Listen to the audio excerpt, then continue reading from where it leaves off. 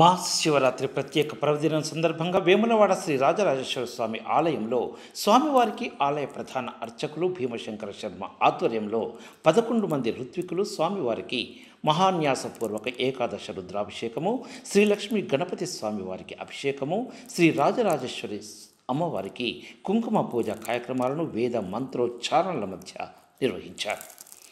కార్తీక మాస శివరాత్రి సందర్భంగా శ్రీ రాజరాజేశ్వర స్వామి వారిని పెద్ద ఎత్తున భక్తులు దర్శించుకున్నారు. ముందుగా పలువురు భక్తులు స్వామివారికి భక్తి శ్రద్ధలతో తలనీలాలు కూడా సమర్పించుకున్నారు. దీంతో పాటు రాజన్నకు కోడె మొక్కులు అభిషేకాలు అన్న పూజలు కుంకుమ పూజలు గండ దీపం వెలిగించే కార్యక్రమాలను జరుపుకున్నారు. వీటితో పాటు అనుబంధ దేవాలయాలలో కూడా పెద్ద ఎత్తున భక్తులు తరలివచ్చి పూజలు నిర్వహించడంతో అక్కడ సందడి వాతావరణం నెలకొంది.